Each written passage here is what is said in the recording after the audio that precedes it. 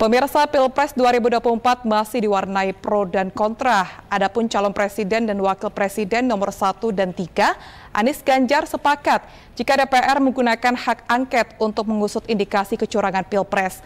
Begini pandangan hukum dari pakar hukum tata negara Jambi.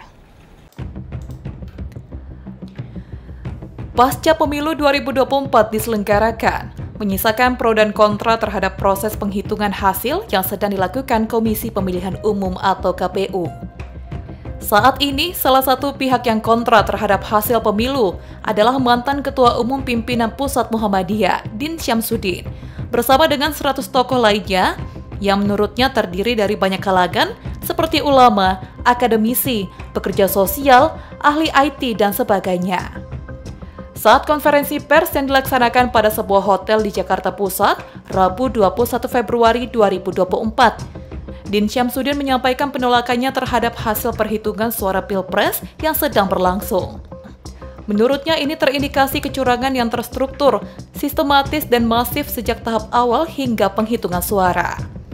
Hal ini didukung oleh calon presiden nomor 1 dan 3, Anies Baswedan dan Ganjar Pranowo. Menurut mereka, DPR perlu menggunakan hak angket guna mengusut indikasi kecurangan yang terjadi pada Pilpres dan Pileg pada tahun ini.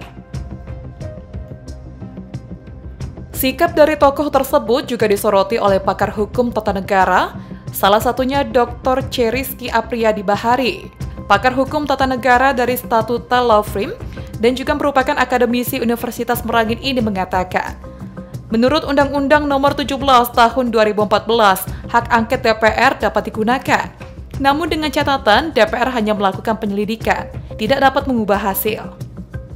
Tambahnya, antara Presiden dan DPR secara kelembagaan setara. Hasil penyelidikan nanti Mahkamah Konstitusi lah yang akan memutuskan. Menurut saya secara pribadi, dalam hukum tata negara, jelas itu diatur dalam Undang-Undang Nomor 17 tahun 2014 hak angket DPR itu bisa untuk melakukan penyelidikan tapi tidak bisa membatalkan hasil. Nah, jadi nanti hasil penyelidikan itu dibawa ke MK. MK yang memutuskan dengan hasil kecurangan tadi untuk membatalkan hasil pemilu itu dari MK. Jadi kalau menurut saya MK ini nanti yang berperan. Nah, DPR ini hanya melakukan penyelidikan terkait hak angket, ada hak interpelasi. Nah, untuk menyatakan meminta keterangan sejelas-jelasnya. Nah, itu. Karena secara kelembagaan DPR ini dan presiden itu sama. Nah, tapi balik-baliknya lagi ya itu tadi. Di dalam anggota DPR ini anggota partai yang berkoalisi terhadap presiden tadi. Nah bisa jadi ini sebuah kegertakan atau bisa jadi ini hanya sebuah uji adu kekuatan antara parpol. Bisa jadi seperti itu